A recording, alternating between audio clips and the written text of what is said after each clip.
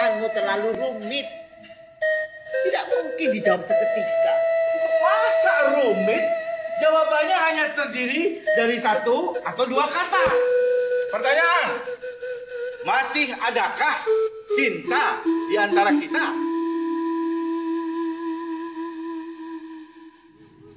Jumat, Sabtu, Minggu. Kemudian kembali lagi Senin. Waktu berputar dari Senin ke Senin. Senin yang sama, tapi pasti berbeda.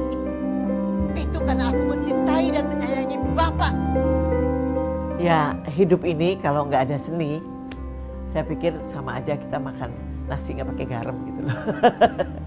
Tapi saya kira semua orang tanpa disadari oleh mereka sendiri sebetulnya memahami bahwa seni itu harus ada dalam hidupnya. Saya yakin itu. Tinggal kita bisa menggalinya atau enggak gitu. Kalau saya kan sudah mengeksploitirnya gitu. Tapi kalau orang lain barangkali tidak melakukan itu tapi tanpa dia sadari sebetulnya dia harus hidup dengan seni dalam hidupnya. Kalau enggak, enggak akan bisa hidup.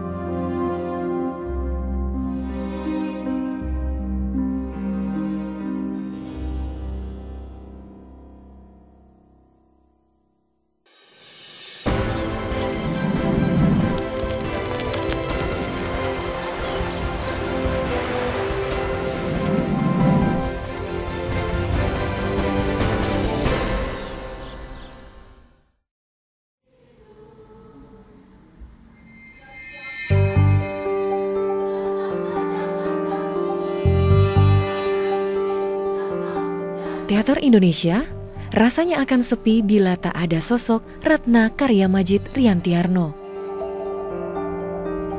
Perempuan yang kini mencurahkan kecintaannya pada dunia teater ini mengawali perjalanan seninya dari tari Bali.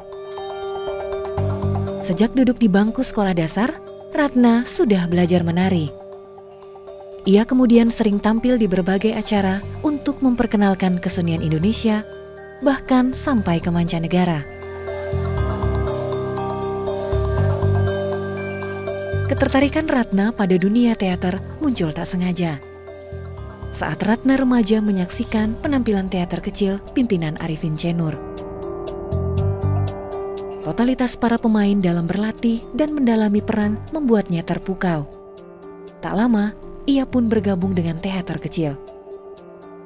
Seni teater ini mempertemukan Ratna dengan Nano Riantiarno, sang suami.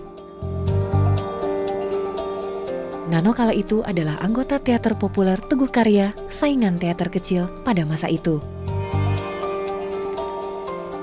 Karena dulu kan saya suka datang ke Taman Ismail Marzuki untuk melatih nari. Dan waktu nari itu saya udah pertunjukan nari gitu. Lalu saya melihat pertunjukan teater. Terus saya langsung merasa, aduh kayaknya luar biasa ya. Mereka bisa berdialog di atas panggung, menjadi orang lain di atas panggung. Itu ketertarikan saya pertama.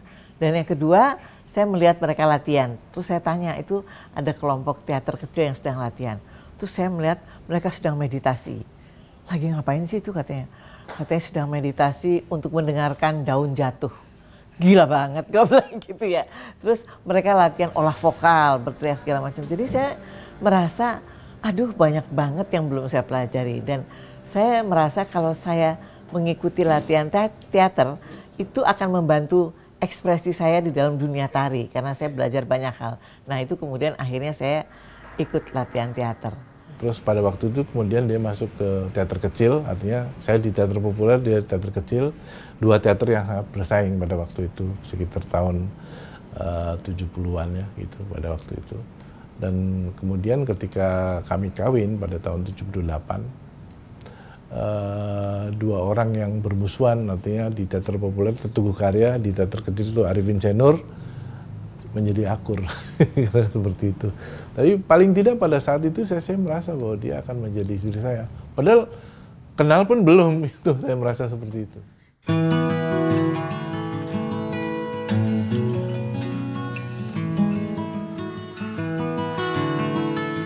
jadi ngobrol-ngobrol gitu. Tapi saya senang gitu karena dia mungkin ya, ini Ryan Gombal juga. dia kan memang penulis gitu. Jadi waktu dia udah ketemu berapa kali dia senang dia menulis satu puisi buat saya gitu. Terus saya jadi terpesona ya namanya juga anak bawang gitu kali ya. jadi terpesona bahwa bayangin ditulisin puisi sama seseorang gitu loh gitu. Jadi tapi saya tertarik karena memang saya sedang tertarik pada dunia seni, baik seni tari maupun seni peran, lalu dapat teman ngobrol yang rasanya juga bisa membantu saya lebih baik gitu.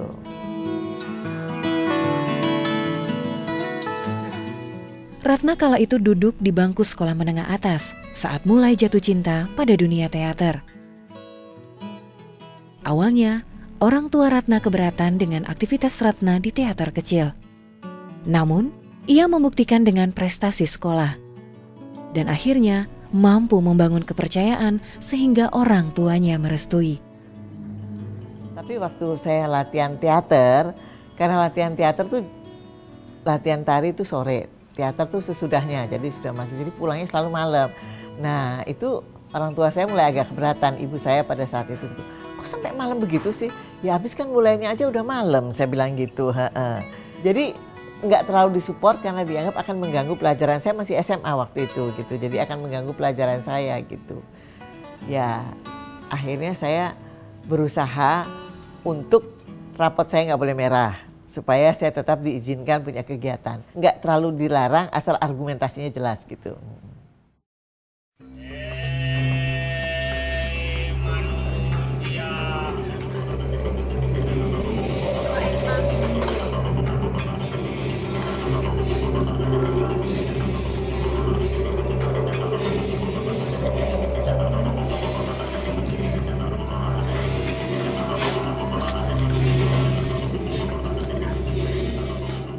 Pementasan pertamanya di teater kecil dalam lakon Kapai-Kapai di tahun 1969 membuat Ratna pada akhirnya dibanjiri tawaran peran penting dalam lakon-lakon karya Arifin Cenur. Sutradara kenamaan asal Cirebon yang ia anggap sebagai guru pertama teaternya. Karena, dia narinya bagus itulah diajak beberapa dari mereka tuh untuk mengisi dari figuran di KPKP itu ada peran seribu bulan. Seribu bulan bergoyang atau apa gitu saya belum belum masuk tuh. Di KPKP nah jadi mereka itulah yang tadi yang si penari penari Bali ini diajak. Akhirnya dia satu-satunya yang tinggal yang tinggal di teater kecil. Karena dia ya aja gemulai sekali dan uh, ternyata bisa bermain bisa acting ya bisa bermain dengan baik. Jadi Ya itulah saya bilang, dia prima donanya teater kecil. Kesayangannya Mas Arifin dia.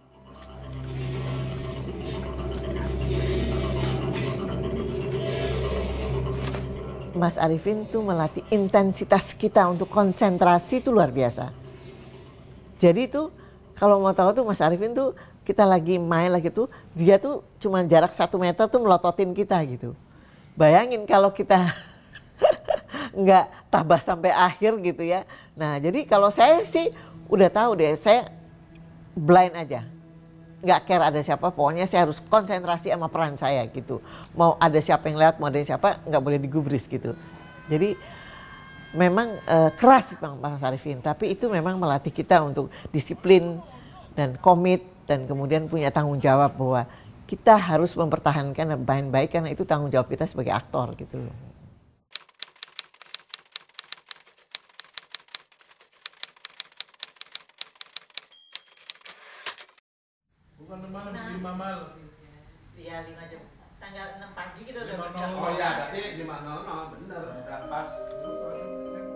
Ratna dan Nano merasa prihatin pada dunia teater yang semakin sepi.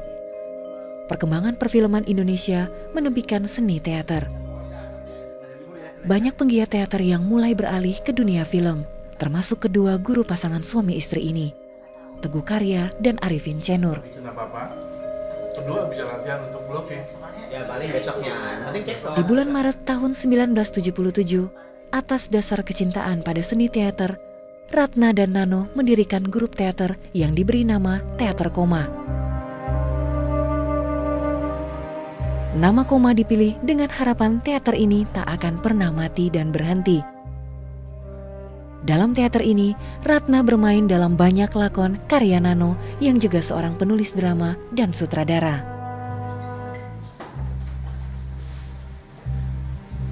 Waktu para orang-orang teater berkiprah ke dunia film, karena film kan dunianya memang sebuah industri gitu, jadi mereka promosinya kan gila-gilaan lebih lebih baik daripada kita gitu. Nah, saya ingin mempertahankan di teater tetap dan di dunia tari pada saat itu. Nah kemudian akhirnya saya udah pasrah sama Mas Al, kita-kita nih bilang aduh gara-gara Pak Arifin, Pak Teguh bikin film jadi dunia teater agak sepi. Yuk kita bikin teater. Nah akhirnya saya bilang Mas Nando kamu kan bisa ngarang gitu. Dan menyutradarai. Kemudian Yayang juga termasuk tuh. Terus ada Saiful Anwar dari tempat yang lain. Lalu ada beberapa teman dari ini yuk bikin aja terus Mas Ano bener nih katanya aku bikin nih aku punya naskah aku nyutradarain gitu Mas Tano sih yang memilih waktu dia bilang koma terus kita bilang kenapa koma ya itu kan tanda baca dia bilang gitu oh saya tadinya gini mentang-mentang penulis kok pakai tanda baca saya bilang gitu loh tanda baca koma itu kan berarti tidak pernah berhenti selalu ada kalimat lanjutannya kalimat lanjutan jadi harapannya dia itu adalah tanda baca koma itu berarti tidak pernah berhenti, tidak pernah titik. Itu jadi pasti ada lanjutannya, ada lanjutannya. Harapannya jadi produksi yang ini pasti akan berlanjut lagi, berlanjut lagi, berlanjut. Kita melihat tiga aja. Yang pertama adalah tempat harus ada. Tempat itu bisa tertutup, bisa tidak tertutup. Artinya sebuah gedung atau di luar gedung. Itu harus ada. Kedua adalah pekerja. Pekerja. Kalau ada tempatnya, ada pekerja, siapa yang mengerjakan teater? Kan nggak ada. Ketiga penonton. Tiga itu saja. Jadi teater akan terjadi kalau ada tempat, ada pekerja, ada penonton. Itu semua harus. Jadi masalahnya adalah kalau kita berbuat sesuatu eh, yang tadi saya bilang sejauh dia disukai masyarakat, orang akan melihat itu, akan melihat eh, teater gitu. Jadi tiga ini saja. Dengan adanya tiga bagian ini, teater akan terjadi.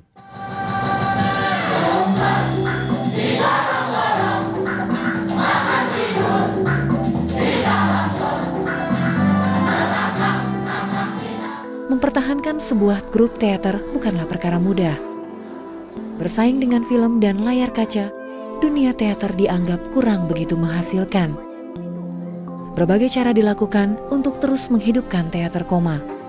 Mulai dari penawaran tiket door to door, pengelolaan manajemen yang profesional, hingga segala hal yang berkaitan dengan pertunjukan teater dilakukan sendiri oleh Ratna. Hal itulah yang membuat teater koma menjadi teater yang amat populer di Indonesia. Bahkan, salah satu pementasannya di tahun 1986, Opera Julini, mampu memecahkan rekor pertunjukan teater terlama dalam sejarah teater modern di Indonesia.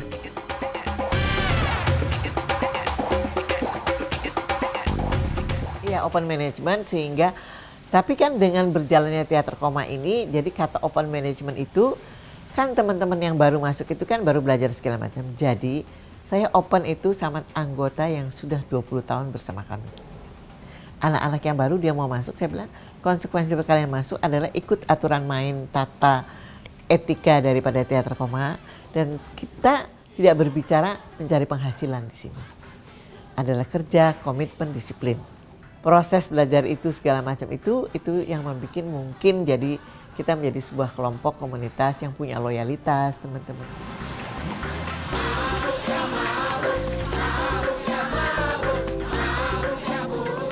Tapi ada orang yang secara militan hidupnya itu dari mulai nol diabdikasikan, didedikasikan hanya untuk teater. Mungkin sampai dia mati. Saat itu contohnya dua suami istri yang luar biasa itu Rian Tiarno dua-duanya karena apa karena kesetiaan dia dedikasi dia disiplin dia pada kesenian itu membuat orang lain terharu respect sehingga mereka menjadi teman hidupnya sampai sekarang jangan dilihat dari soal apa finansialnya atau materialnya walaupun kita bisa bilang koma itu adalah teater yang paling mampu secara finansial dibanding yang lain. Paling mampu loh, paling hebat. dalam ngumpulin duit dan penonton.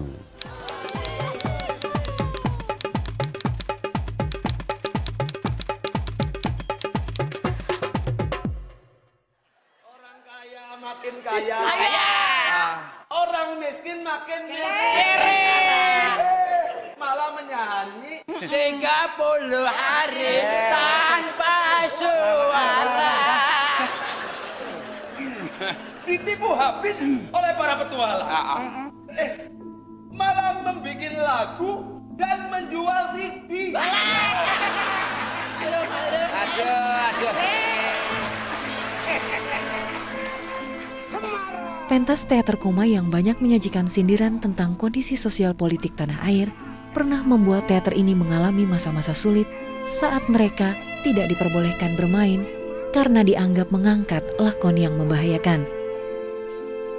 Bahkan dalam setiap pentas mereka sejak tahun 1978 hingga 1990 selalu diawasi. Puncaknya adalah saat opera kecoa dilarang bermain di Jepang.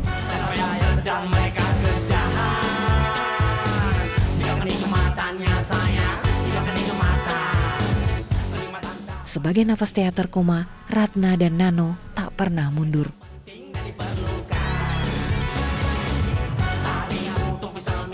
Jadi mereka walaupun digencet, walaupun direpress, walaupun dimiskinan, dimiskinkan, dia punya teman hingga akhir hidupnya, yaitu pasangan hidupnya. Itu nilainya yang saya bilang tadi. Nilai teman itu, nilai cinta seperti itu mahal sekali. Kalau akhirnya orang memilih tetap di eh, dunia film ya selain memang secara ekonomi juga itu lebih bisa menghidupkan, tapi juga ada tantangan-tantangan yang lain sih sebetulnya. Tinggal pilihan aja gitu. Ainun. Saya akan menjadi suami yang terbaik. Terbaik. Dia pikir dia yang paling hebat, merasa paling jago dan paling dahsyat. Di tengah keseriusannya di dunia teater, Ratna juga merambah ke dunia film dan sinetron. Banyak judul film dan sinetron yang telah ia mainkan sepanjang karirnya. Saya sudah lamarkan si Seruni, karena itu dia tidak ke Saudi. Apa?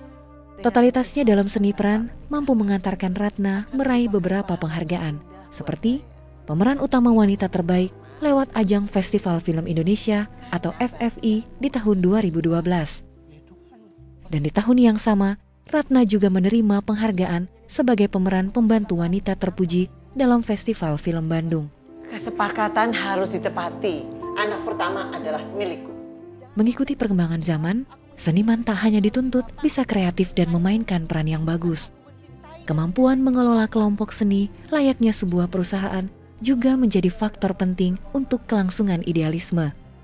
Di ranah inilah Ratna juga menjalankan peran utama, mendukung sang suami. Dia cuma ingin hidup. Dia tidak pernah mengganggu, tak pernah memaksa. Dia yang dikejar-kejar? Bukan mereka, orang-orang yang datang. Nasib. Saya untuk menyutradarai pun tidak berani, Ratna juga nggak berani. Karena kami tahu menyutradarai sebuah teater itu nggak gampang sama sekali. Menyutradarai film aja nggak gampang. Apalagi teater, teater kan. Lo kalau bego ketahuan bego loh. Jadi kalau nggak bener-bener punya hati di situ, punya passion dan knowledge ya dan pengetahuan wawasan dalam buat teater, jangan deh coba-coba menyutradarai. Pasti kurang kurang bagus. Mutu, mutu, udah jelas mutu dan dan mutu itu dicapai dengan tanggung jawab, dengan kecintaan dan tanggung jawab. Jadi nggak nggak nggak asal, nggak nggak asal asal. Ya tidak asal lah. Semua dengan seksama, dikerjakan dengan seksama, dengan sungguh-sungguh, dengan ketulusan. Nah itu yang paling penting. Yang paling dalam hidup itu yang paling penting. Dan mereka adalah eh, panutan dalam dalam bidang itu. Ya, semua ada plus minusnya, tapi memang harus dipikirkan bahwa seniman itu belum bisa memanage. Karena siapa sih manajer-manajer yang mau memanage udah nggak ada gajinya. Akhirnya kita juga yang harus menanggung akibatnya. Setelah Leo divonis mati, siapa yang bertanggung jawab? Siapa? Kita, Bu, kita. Ini tanggung jawab kita. Kita lalai karena terlalu memanjakan Leo. Memenuhi apa pun yang dia minta. Mestinya dicarikan seperti di Jepang tuh ada perusahaan menjadi bapak untuk selama lima tahun dia memegang berapa kelompok teater. Dia kayak menjadi bapak asuh.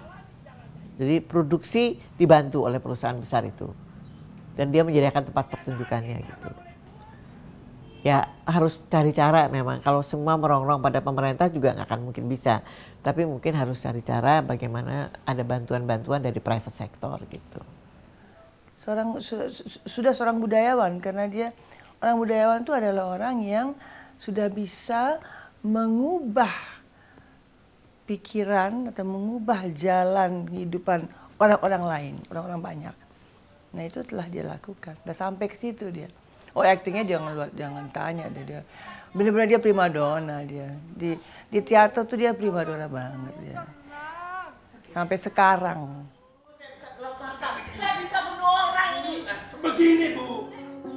Cintanya pada dunia teater adalah hal yang membuat Ratna terus hidup. Teater Koma tumbuh menjadi satu-satunya grup teater yang masih bisa bertahan menampilkan pementasan secara konsisten hingga saat ini. Bahkan pertunjukannya ditunggu publik dengan tiket yang selalu habis terjual. KTP-nya juga asli. Karena dia akan terus Ratna akan terus eh, terus berkarya. Namanya aja Ratna Karya. Kamu tahu nggak? Namanya itu Ratna Karya Majid loh. Dia akan terus berkarya dalam teater, dalam film, dalam TV sebagai pemain, apalagi sebagai pengelola itu kan selalu ada sampai dia mati. Coba pasti mati baru dia dia berhenti berkarya. Ratna itu. jagalah, peliharalah, dan tumbuhkanlah semangat yang luar biasa itu. Semangat teatrikal, karena itu dalam diri kita. Dan jangan putus asa, atau jangan menyerah, karena keadaan atau zaman menghimpit Anda. Teater tidak akan mati, selama hatinya juga tidak pernah mati. Udah saya kalau harus meninggalkan teater sedih juga tuh. Jadi saya kira sih selama saya masih bisa hidup dan mampu, teater tetap jadi dunia saya. Kan koma terus. Kalau jadi titik bahaya loh. Harapan saya sih mudah-mudahan tidak titik gitu. Mudah-mudahan masih tetap orang menunggu koma.